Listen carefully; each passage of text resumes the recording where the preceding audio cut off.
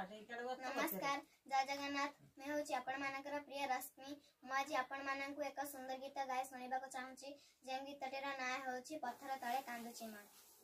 तेज चलतु शुणा से सुंदर गीतटी पथर तले